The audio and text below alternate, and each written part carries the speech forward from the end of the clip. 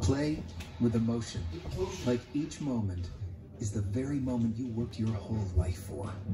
Play with joy, like you're still that kid in the backyard with a dream. And play with pride for those who came before. But that doesn't mean you have to play by their.